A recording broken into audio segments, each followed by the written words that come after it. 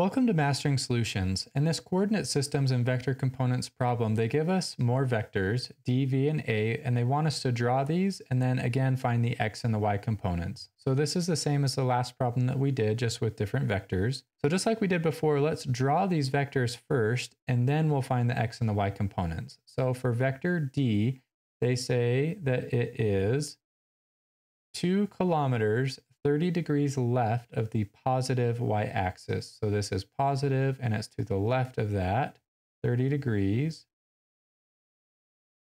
So we have 30 degrees right here and vector d is 2 kilometers.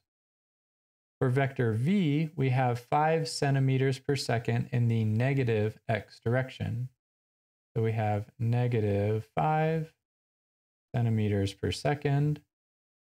And lastly, for vector A, we have 10 meters per second squared, 40 degrees left of the negative y axis. So negative y, and we're 40 degrees to the left of that. So we have 40 right there. This is vector A, this is vector V, and this one was 10 meters per second squared. So now let's start on A and find the x and the y components to it. So for A or vector D, we'll say D sub X for the X component and D sub Y for the Y component. So in the X component for this one, it's right here, and that is going in the negative X direction. So this we know right off the bat will be negative. This value is opposite of the angle, and we have the hypotenuse, so we'll be using sine. Sine, of course, is sine of the angle is equal to opposite over hypotenuse. We want to isolate the opposite for the, what the x component. So let's multiply both sides of the equation by h. So now we have h in this case is 2 kilometers. So 2 kilometers times the sine of the angle 30 will give us the x component for vector d. I'll wait and plug both of them into the calculator at the same time just to save a little bit of time here. So for the y component, it's this value right here, which is adjacent to the angle. So in that case, we'll use cosine or CAH and SOHCAHTOA, which is cosine of the angle is equal to adjacent over the hypotenuse. Exact same process, multiply both sides of the equation by h. So the hypotenuse is, and it's a positive y direction, so it will be 2 kilometers times the cosine of the angle 30 degrees will give us the y component. So negative 2 times sine of 30 gives us negative 1.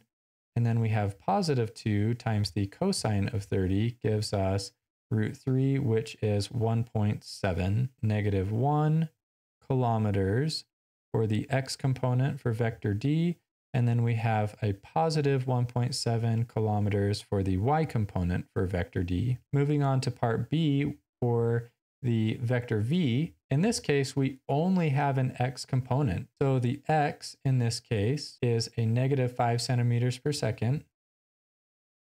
So the y component in this case, obviously there is no y, so it's 0 centimeters per second.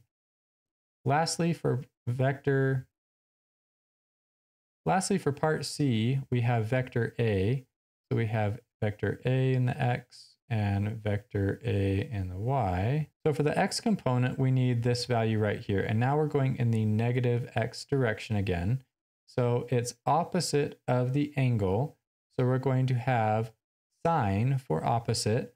So we'll have the hypotenuse, which is 10 meters per second squared, times the opposite or sine of the angle 40 degrees. The adjacent right here will give us the y component, adjacent with the hypotenuse is cosine.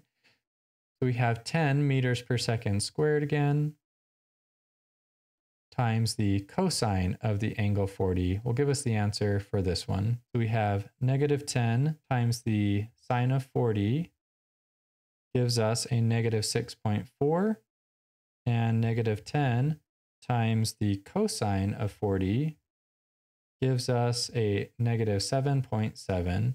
So we have negative 6.4 meters per second squared and negative 7.7 meters per second squared.